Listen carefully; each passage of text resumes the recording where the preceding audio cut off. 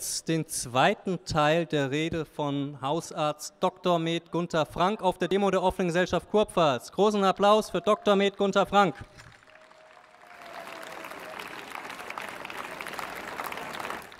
Ja, der Arzt, den die Frauen vertrauen, wie war das? Stefan Frank. Ich werde nur verhauen. Ich bin der kleine Bruder. Nein, ähm, man weiß gar nicht, wo man anfangen soll. Also nochmal das Thema Verhältnismäßigkeit. Wenn wir über Impfungen sprechen, über die ganzen Maßnahmen, dann steht und fällt alles mit der Annahme einer nationalen, einer epidemischen äh, Lage nationaler Tragweite. Und die gab es nie. Und wenn man jetzt sich mal klar macht, dass die Intensivbettgeschichten, ja, dass eine Verknappung, nicht, nicht mal diese Verknappung war eigentlich außergewöhnlich. Aber selbst da wurde betrogen, indem eben Krankenhäuser zu wenig Betten gemeldet haben, weil im neuen Infektionsschutzgesetz, in der neuen Fassung im November 2020 die, quasi der, der Zuschuss der Gelder gekoppelt war an eine Intensivbettbelegung von 75 Prozent in den Krankenhäusern. Und wenn da zu viele Betten frei waren, um diese 75 Prozent darzustellen, wurden die einfach nicht weitergemeldet. Ja, und da verschwanden plötzlich 4.000, 5.000 Intensivbetten und das war mit auch ein offizieller Grund, dann zu sagen, äh, wir äh, machen den, den, nächsten Lockdown. Das muss man sich mal wirklich vorstellen. Und es ist ja nicht so, dass das Covidioten oder Querdenker oder sonst äh, jemand, der, äh, der gerade in die Ecke gestellt wird, sagt, sondern das sagt der Bundesrechnungshof. Der Bundesrechnungshof. Hätten wir noch Hätten wir noch eine offene Debatte in der Gesellschaft, eine funktionierende Presselandschaft, dann wäre das der Skandal des Jahres. Nichts. So, und also auch die, dass die, die, die Impfung bedingt zugelassen wird, hängt auch an diesem Umstand, dass hier eine Krankheit inszeniert wird, die für den Einzelnen, haben wir schon gesagt, äh, schwerwiegend sein kann, aber niemals eine besondere Gefahr für die Gesellschaft darstellt. Und wenn, die, wenn, wir diese, wenn diese Epidemie wirklich die Killerseuche wäre, das würde bedeuten, wir alle würden Menschen kennen, die an Covid gestorben sind, die schwer erkrankt waren, die unter 80 waren. Wir alle hätten gesehen, dass Menschen auf den Straßen liegen, dass Ersatzlazarette gegründet werden müssen, Turnhallen voll sind. Wenn das der Fall wäre, dann wäre diese Impfung, jetzt mache ich mich vielleicht unbeliebt, eine große Leistung.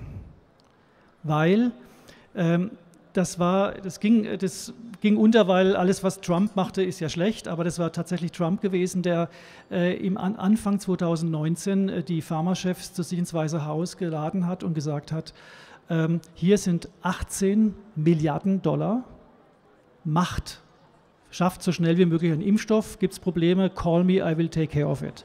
Also, und dass das so schnell gelungen ist, etwas aus dem Boden zu stampfen, ist eine Leistung. Und wenn wir diese Killerseuche hätten, wäre diese Impfung absolut gerechtfertigt. Nicht gerechtfertigt wäre, dass wir natürlich die Nebenwirkungen nicht wirklich lega artis, sprich mit gut gemachten Kohortenstudien feststellen, dass wir die Impftoten nicht obduzieren, das ist alles nicht korrekt.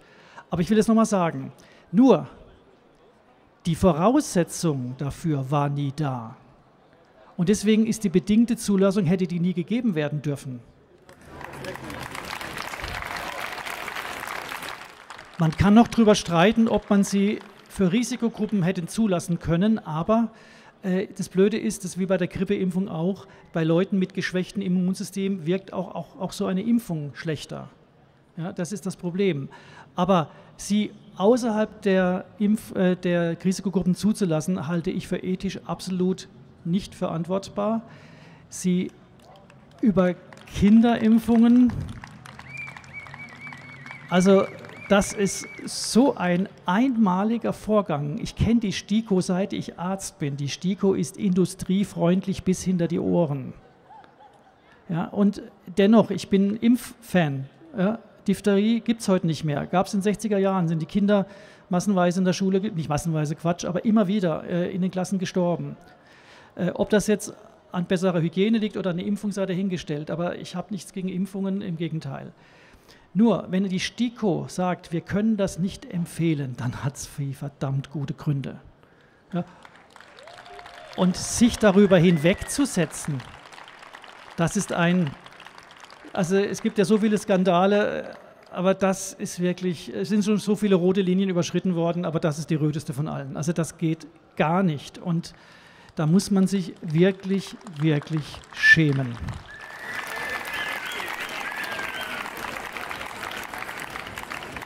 Jetzt stellt sich natürlich die Frage, wenn das alles so klar ist, warum geht es immer weiter? Warum hört es nicht auf? Warum sind die Leute immer noch in Panik und glauben, der, es ist eine Propaganda, sorry. FAZ, Spiegel, ARD, ZDF, ihr verbreitet Politpropaganda, es ist nichts anderes. Warum machen wir das noch mit als Gesellschaft?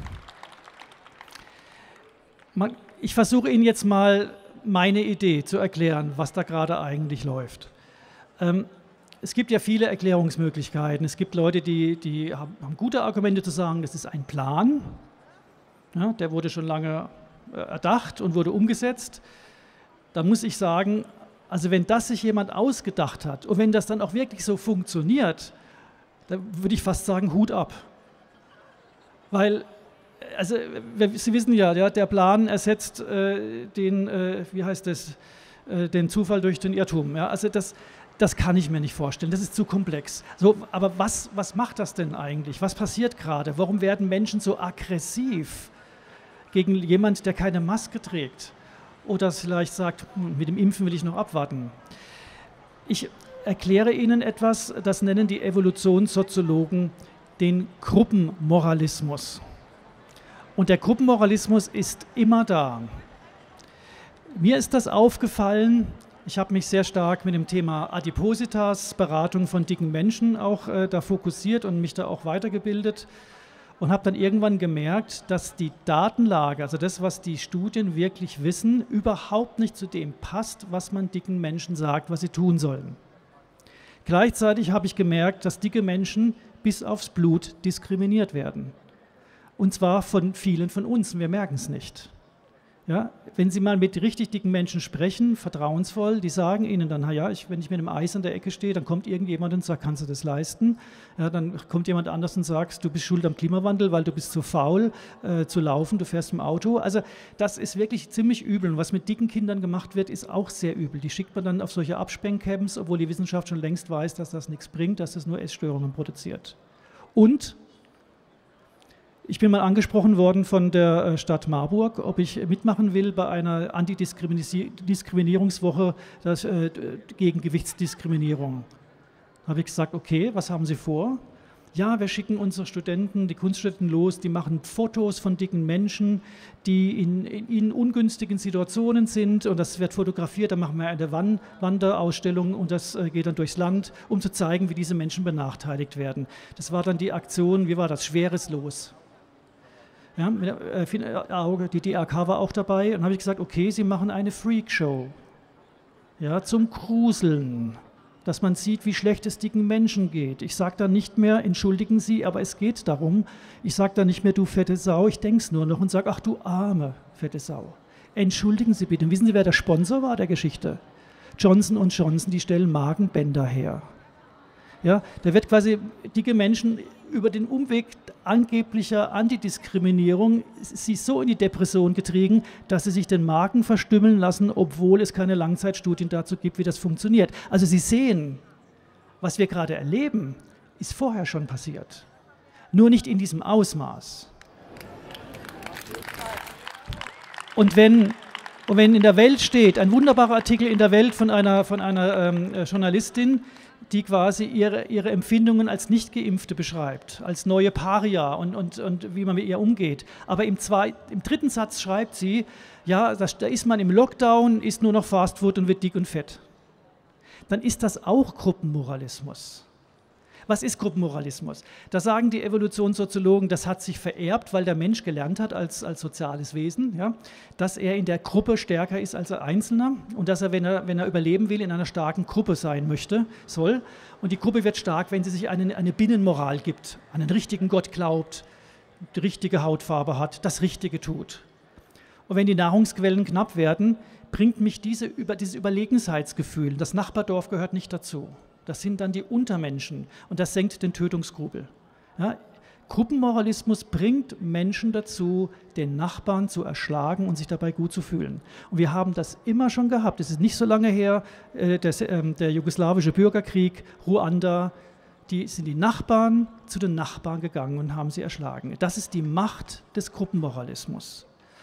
Und ich, was ich glaube, ist, dass dieser Gruppenmoralismus auch sich hier wieder breit macht. Wir hatten den Gruppenmoralismus im tausendjährigen Reich zur Genüge ausgekostet. Und der ist nicht tot, der kommt in anderer Form wieder und diesmal über den Antifaschismus. Ja, deswegen wird, ich denke, dass einige von Ihnen vielleicht es teilweise früher richtig fanden, Kritiker, die, die konservativ waren, so, die sind die Rechten. Aber sie erfahren jetzt vielleicht selber, dass sie plötzlich auch recht sind, dass sie auch Nazis sind. Ja? Und das ist einfach, jetzt wird dieser Begriff ausgeweitet. Und was, was, was passiert beim Gruppenmoralismus? Letztendlich bedeutet das, dass sich eine Elite bildet, eine Moralelite, die letztendlich über das Thema Moral versucht, eine große Gruppe zu beherrschen und die dann nicht mitmachen, die sich nicht in diesen Moralismus reinversetzen lassen, die setzt sich unter Angst und Panik und die laufen dann mit aus Angst. Und wenn Sie Leute in Angst und Panik versetzen, dann können Sie das psychologisch erklären, haben die keine Verbindung mehr zu ihrer Intuition, zu ihren Bauchgefühlen. Es müsste doch jedem auffallen, dass wir hier nicht sterben wie die Fliegen, dass die Krankenhäuser leer waren.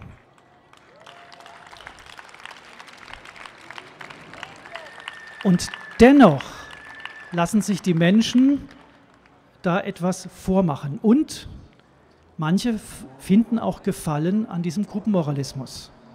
Da kann ich mich überhöhen, indem ich andere herabsetze. Und dann ist immer wichtig, also der Gruppenmoralismus teilt ein in Sieger und Verlierer in Gesellschaften.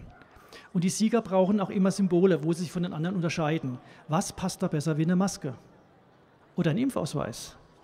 Damit kann ich sagen, ich gehöre zu den Guten, zu den Siegern und ihr seid zu den Verlierern.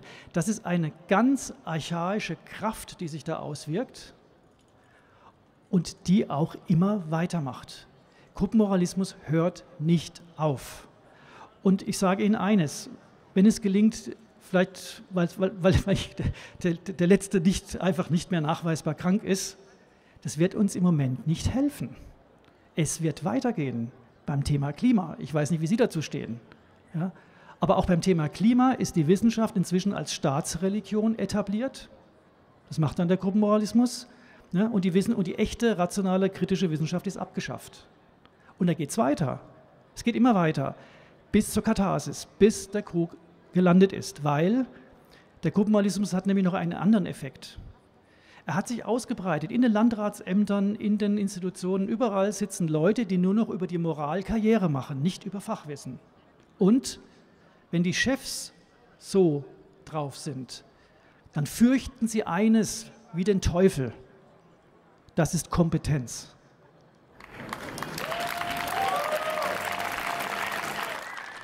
Weil Kompetenz entlarvt den Moralisten.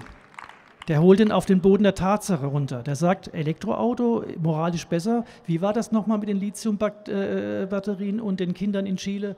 Oh, tausend Beispiele. Ja? Die Welt ist nicht so einfach gut und böse, die ist komplex. Es gilt Verantwortung zu übernehmen und abzuwägen, zu streiten, nach den besten Argumenten zu suchen.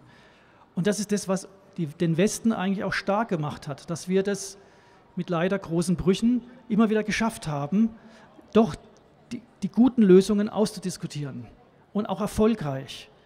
Alle Menschen, wenn es immer heißt, wir sind die großen Rassisten, wir sind die alten weisen Männer, wir sind die Schlimmsten überhaupt auf dem Planeten. Ja, warum kommen denn dann alle Menschen, die diskriminiert werden, wegen ihrer äh, Sexualität, wegen ihrer politischen Meinung, warum kommen die denn dann zu uns?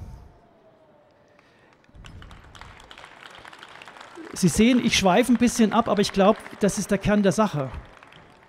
Und wir müssen diesen Gruppenmoralismus überwinden. Und das wird nicht einfach werden, weil zu viele Leute sich zu wenig anstrengen müssen, um in ihren fantastischen Positionen zu bleiben. Gut bezahlten Positionen. Und das wird nicht einfach werden, das sage ich Ihnen. Und das wird mit Corona nicht aufhören. Das wird weitergehen.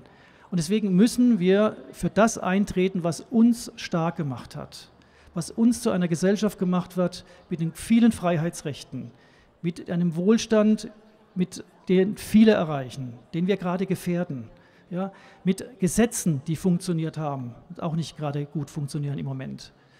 Und das bedeutet, wir müssen zu dem zurück, was uns stark gemacht hat, und das ist die offene, freie, angstfreie Debatte.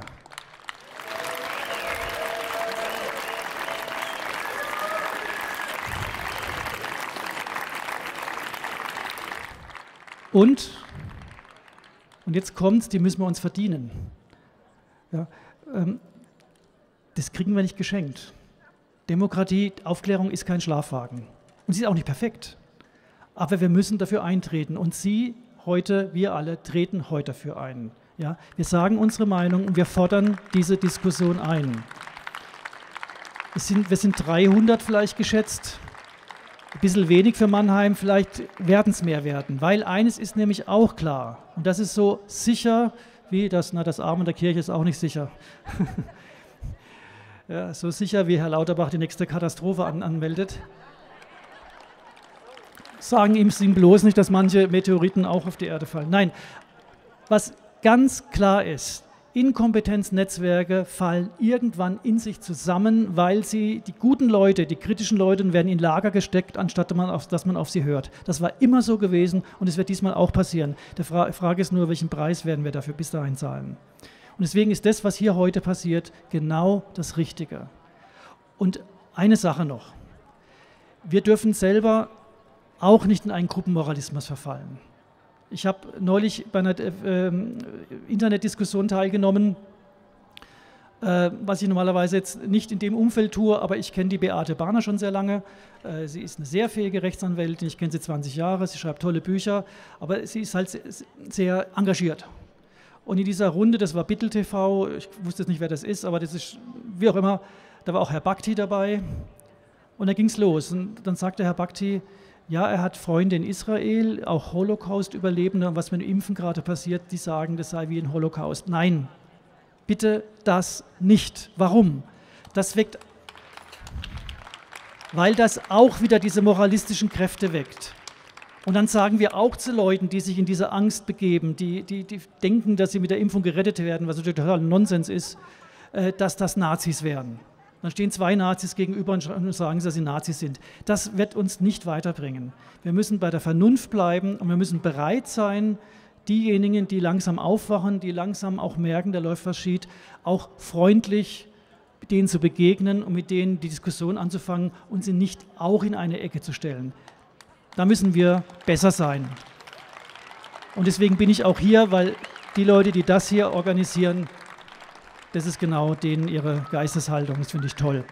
Auch in diesem, äh, jetzt, jetzt könnte ich eigentlich mal Danke sagen. Ja, ja, an euch. Kommt doch mal her. Martin, wo ist er? Achim, Herr Kupferschmidt. Da ist er.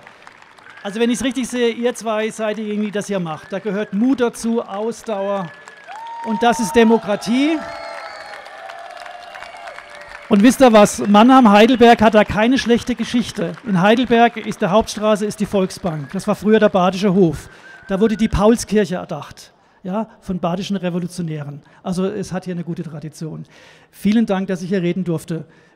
Ich wünsche uns allen viel Mut und irgendwann wird es passieren.